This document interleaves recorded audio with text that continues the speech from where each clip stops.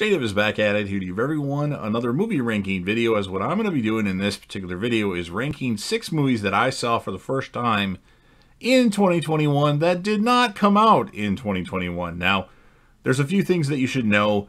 I could have included these titles in a movies watched in 2021 video, but I felt it was unfair as some of these films are very old and very big blockbusters, and I felt I needed to vote time to its own video. So that's why I separated them.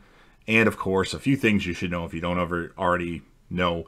Uh, I'm going to be talking about spoilers most likely, so be aware if you haven't seen the movie, you might want to skip ahead a little bit.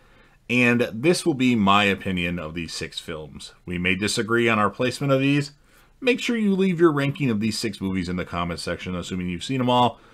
And uh, just so we can compare what our ranking is. And uh, let's get started with the film that came in sixth place on my list Hereditary. I actually really enjoyed Hereditary, and I had heard a lot of good things about it. I just never had gotten a chance to watch it until now, and it was a really good movie. I am in agreement with a lot of the horror community. I think Toni Collette should have got an Oscar for her, her performance, in addition to other movies that she was really good in horror that didn't get notoriety that it should have got. Uh, I will say, spoiler alert, the part with the girl when she's in the backseat of the car and she's got her head out the window and all of a sudden her head gets decapitated. I did not, and I repeat, did not see that coming. So that was a shocker, but it was a pretty fun movie. The ending was a little, it wouldn't have been how I would have preferred the movie to end, but all in all, I actually really enjoyed Hereditary. I bought it already, and that's what's going to come in number six. Number five, a movie that I saw again for the first time in 2021, which this movie's been out since 1988, I believe. And I actually liked it a lot. And that would be Die Hard 2, Die Harder. This movie was a lot of fun. I felt we didn't get as much about our villains in this movie as we should have. Like, we didn't really know their all of their motives in my opinion, or their motives weren't their motives weren't explained good enough. I thought. Without that speaking, the movie was fucking awesome. Was it better than Die Hard? Absolutely not. But the movie was fun. I enjoyed it, and that is why I put it number five out of these six. And I should warn you guys, I like all these movies. Now, if I would have added one more movie to the list, a movie that I didn't like as much, but I didn't think it was as bad is what people say it is, but it's it's bad, but not terrible. And that would be the fifth Die Hard movie, A Good Day to Die Hard, or a, whatever the hell the name of the movie is with Jai Courtney and Bruce Willis. That would have been last on the list, and I didn't like that one that much. Although it's not as bad as people say it is, but it's it's pretty bad though. So just letting you know that. Number four on my list is a movie that I learned about from Cody Leach, a movie that he talks about, a surprise hit in my opinion, a very well done movie, and that would be Rudderless. The, the concept of the movie is, and William H. Macy directs this movie and has a minor role in the movie. A family has their son uh, die in a school shooting, and the dad later on finds some of his son's music that he never recorded. So he starts playing his music, his son's, his dead son's music at a, you know, like some uh, just open mic nights. And he actually becomes quite popular when another another kid joins with him, played by um, Anton Yelchin, R.I.P. And he starts performing with him, and it's just really good. It's it's touching. It swerves you a little bit too, which I didn't see coming. I probably should have saw it coming, but I, I had no clue this is the direction that this film was going to go in. But it's a really awesome movie, and I thank you, Cody Leach, for making awesome recommendations. And another recommendation, if you haven't seen it yet, it's a show that's on HBO Max. It used to be a Cinemax show.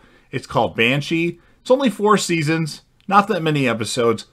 Awesome show. So Banshee and Rudderless two awesome, or Rudderless, two awesome things that Cody Leach has recommended. So that's why uh, Rudderless comes in at number four.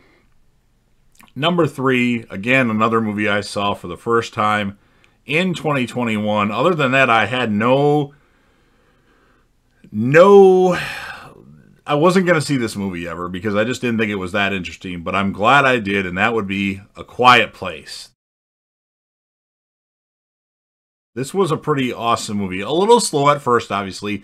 The only reason why I saw this movie is an ex of mine wanted to go see a movie, and she picked A Quiet Place Part 2. So, in preparation for this supposed movie date that, spoiler alert, didn't actually happen, I watched A Quiet Place, and I must say, this was fucking awesome. Emily Blunt is awesome. John Krasinski, I think that's his name. He was pretty awesome. I didn't expect, spoiler alert, for his character to die in the movie, and he, you know, he writes the movie and stars in it, or directs the movie and stars in it. Pretty, excuse me, a pretty awesome movie. I, I thought it was really suspenseful and a lot of fun, and uh, something definitely that I, I went to see A Quiet Place Part 2 in the theater without my movie date because I was so into A Quiet Place, but I never had any inkling to see it before that. So that's why Quiet Place Part 1 is number 3 on my list. Number 2. Surprisingly, I had never seen this movie, or if I did, I didn't remember seeing this. I had seen all the sequels, except for Salvation, but I finally was able to see The Terminator from 1984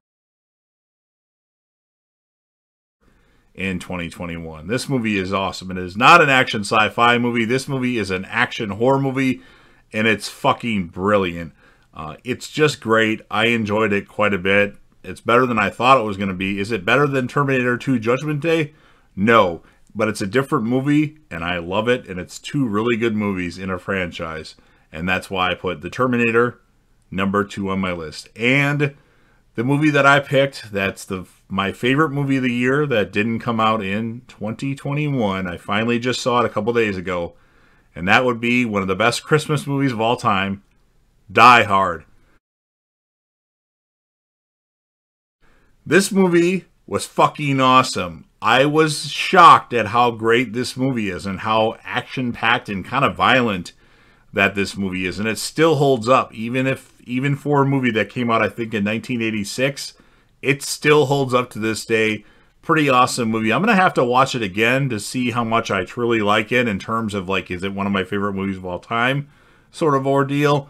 But I really enjoy Die Hard. Bruce Willis did an amazing job in this. Alan Rickman as the villain was pretty awesome. I like Reginald VelJohnson III he doesn't really have a big role in the movie. I mean, it's better than the second movie in terms of his role, but I really enjoyed this this movie, and I was actually quite surprised that I liked it as much. And it is Cody Leach's favorite movie of all time, and I felt like I was an idiot because I had never seen Die Hard, but I finally have now. At least I don't remember seeing Die Hard at all. Same with Terminator or The Terminator. So that is why the original Die Hard comes in at number one. So, again, to recap the six movies that I saw for the first time in 2021 that didn't come in, come out in 2021 Hereditary, Die Hard 2, Rudderless, Quiet Place Part 1, The Terminator from 1984, and the original Die Hard. So, what do you think of this ranking of these movies? If you've seen them all, how would you rank these movies? If you haven't seen Rudderless yet, I would highly recommend checking it out.